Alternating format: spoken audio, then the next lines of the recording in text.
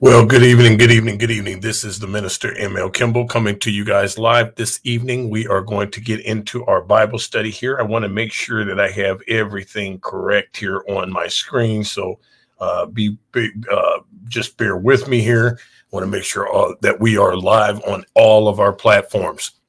I want to say good evening to you, and I want to thank you guys for all of your support, all of our supporters that are watching us from. I mean, we have support from all over the place. I'm really, really, really, truly thankful, and uh, I'm appreciative of every person that supports this vision, this ministry, this channel. And you know, since I've ever since I've been woke up to this truth and woke up to what this has to, you know, uh, uh, the the knowledge that we need to know uh, I've been on a quest to share every single thing that I possibly can with you. Why? Because some kind of way they have convinced us that these books and these scriptures are not part of the Holy Scriptures, which I find very, very, very, very, very, very ridiculous, seeing that they've kept these same scriptures in your Bible. If you look at the Catholic Bible, these script, these these books that they took out and said that they were no longer scriptures anymore, somehow they left those scriptures in their Bible, but told you that these scriptures are not canonized. That is where the scam begins. And so I am not going to sit back and learn information and and and not share it with you. That's why we pull up the scripture. So the reality is I want you to like this video, share this video. Don't forget to subscribe to our YouTube channel. And you can visit us online at www.kns-ministries.org our website. You can go right there and you can see that we've got several different financial passive income opportunities, all kinds of different things you guys can look at on our website. Uh, on our YouTube channel, Money and Prosperity channel. That's the channel that you, uh, you guys need to uh, find us on. Subscribe to that channel. And uh, without anything further, I'm going to go ahead and share my screen here. We're going to get right into the scripture. Now, you will not see this book in your Bible. Why? Because they took it out. It's the book of Jubilees. I'm going to talk to you about the entire chapter six, and we're going to go through this line by line and I'm going to stop, give you guys my opinion, my uh, my uh, my thoughts on the, the scripture, and we're going to talk about it because this is the stuff that we need to understand that has to do with final last day prophecy. It, it has to do with what the Most High told Moses on the mount, which we were told that he went up there and got the Ten Commandments. Well, it didn't take the Most High 40 days to give Moses the Ten Commandments. So if that's what you thought, well, unfortunately, that's the information that we need to talk about. So, right without further ado, Jubilees chapter number six and verse one says, And on the new moon of the third month, he went forth from the ark and built an altar on that mountain. And he made atonement for the earth. So, we're talking about Noah here. And took a kid and made atonement by its blood for all the guilt of the earth, for everything that had been on it had been destroyed save those that were in the ark with Noah. And he placed the fat thereof on the altar, and he took an ox and a goat and a sheep and kids and salt and a turtle dove and the young of a dove, and placed an ascending smoke sacrifice on the altar, and poured thereon an offering mingled with oil, and sprinkled wine, and strewed frankincense over everything, and caused a goodly Savior to arise acceptable before Yahuwah. And Yahuwah smelled the goodly savor, and he cut a covenant with him that there should not be any more a flood to destroy the earth, that all the days of the earth, seed time and harvest, should never cease, cold and heat, summer and winter, and day and night should not change their order nor cease forever. And you increase you and multiply upon the earth and become many upon it and be a blessing upon it the fear of you and the dread of you I will inspire in everything that is on earth and in the sea. And behold, I have given unto you all the beasts and all winged things and everything that moves on the earth and the fish in the waters and all things for food. As the green herbs, I have given you all things to eat. But flesh with the life thereof, with the blood, you shall not eat. For the life of all flesh is in the blood lest your blood of your lives be required. At the hand of every man and at the hand of every beast will I require the blood of man. Whoso sheds man's blood, by man shall his blood be shed. For in the image of Elohim made he man. So I want to stop right there and ask the question of why do we think abortion is okay? The scripture says, Whoso sheds man's blood by man shall his blood be shed. For in the image of Elohim made he man. So you don't have the right to destroy an image that was made after the Most High Yah. You don't have a right to take a life that you did not give. That's what the scripture says. I don't care what your issue one says. The scripture says, Whoso sheds a man's blood, by man shall his blood be shed. For in the image of Elohim made he man. And you increase you and multiply on the earth. And Noah and his sons swore that they would not eat any blood that was in any flesh. And he cut covenant before Yahuwah forever throughout all the generations of the earth in this month. On this account, he spoke to you. He's talking about Moses, that you should cut a covenant with the children of Israel in this month upon the mount with an oath, and that you should sprinkle blood upon them because of all the words of the covenant which Yahuwah cut with them forever. And this testimony is written concerning you that you should observe it continually, so that you should not eat on any day any blood of beast or birds or cattle during all the days of the earth. And the man who eats the blood of beast or of cattle or of birds during all of the days of the earth, he and his seed shall be rooted out of the land. So that's your medium rare steaks. I don't care what they said is a delicacy. The Most High said, don't do it. And do you command the children of Israel to eat no blood, so that their names and their seed may be before Yahuwah continually? And for this Torah, there is no limit of days, for it is forever. So explain to me how this changed if he put the words forever there.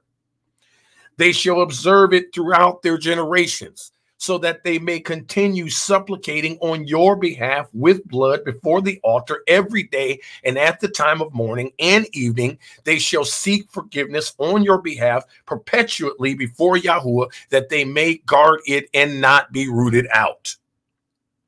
And he gave to Noah and his sons a sign that there should not again be a flood on the earth.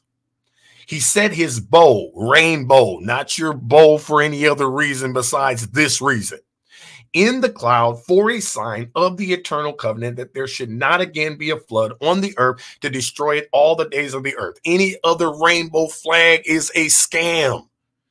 This is the reason for the rainbow. Get mad at me if you want to. Unfriend me. I could care less. We're reading the scripture. For this reason, it is ordained and written on the heavenly tablets that they should celebrate the feast of Shuavoth in this month once a year to renew the covenant every year. So, why are we talking about Thanksgiving? Why are we talking about Christmas? Why are we talking about all of these other things, but except what he said to talk about? Why isn't anybody paying attention to the feast of Shuavoth?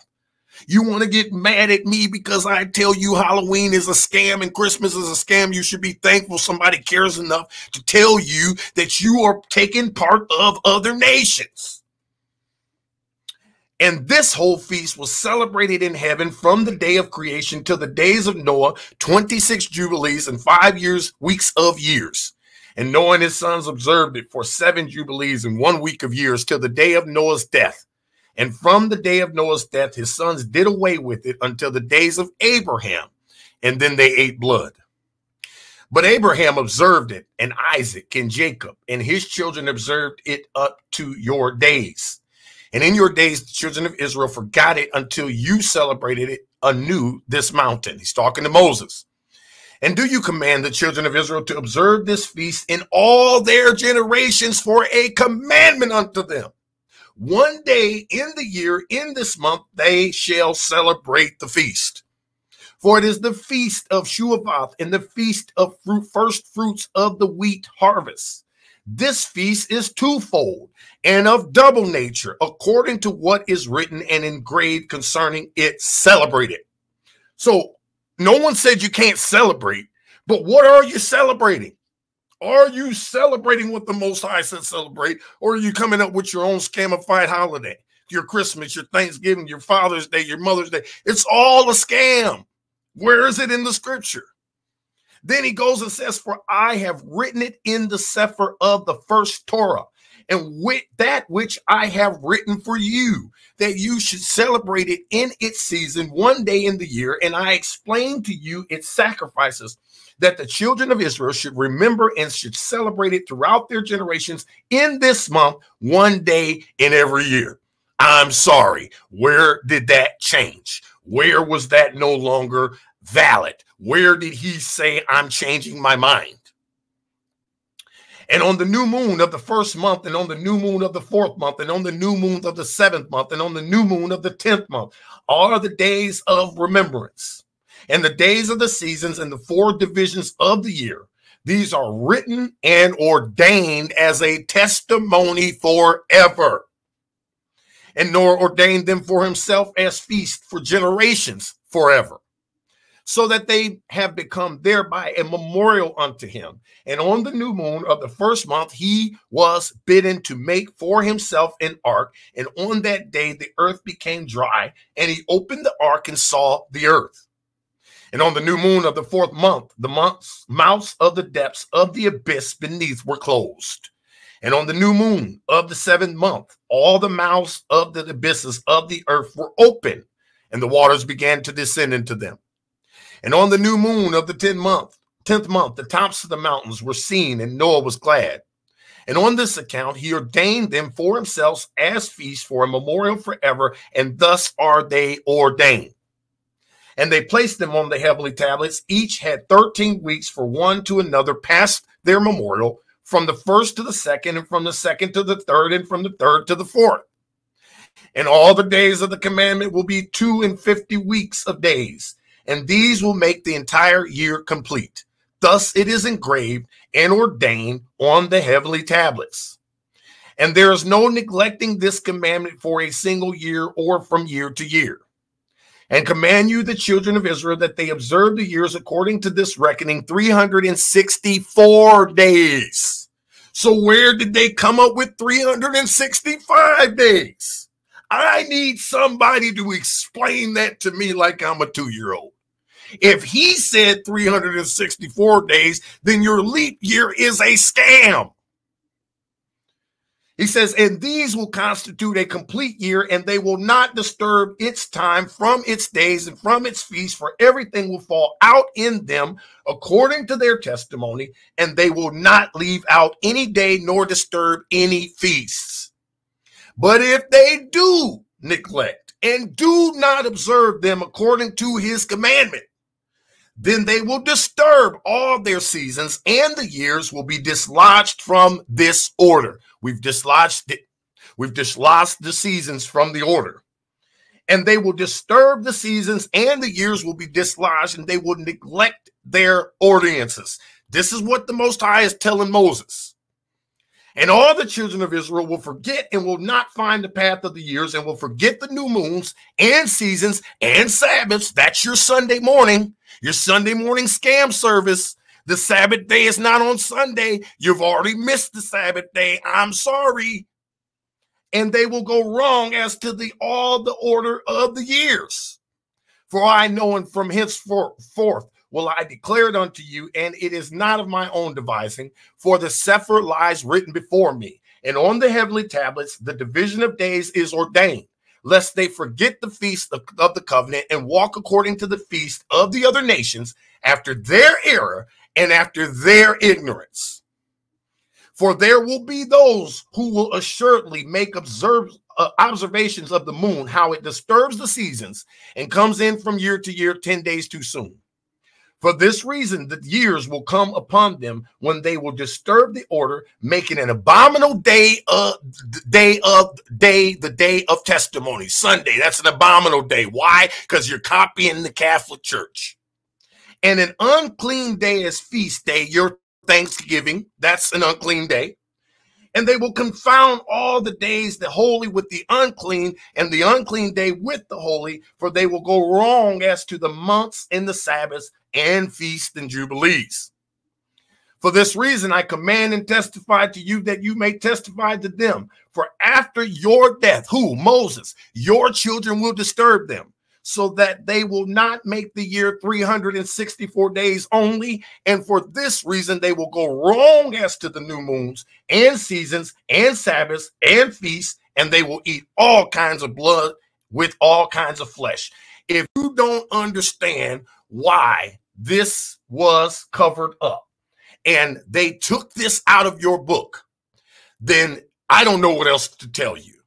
This is prophecy today, in time prophecy. But for some reason, they have convinced you not to read it. If you don't understand that we are living in a land of captivity that did not obey the Most High nor obeyed anything concerning His word, then you are sadly mistaken. If you are going to church on Sunday because your preacher told you that this is the day that the Lord has made, you are sadly mistaken. The Sabbath day was never supposed to be on a Sunday, but yet the Catholic Church changed it.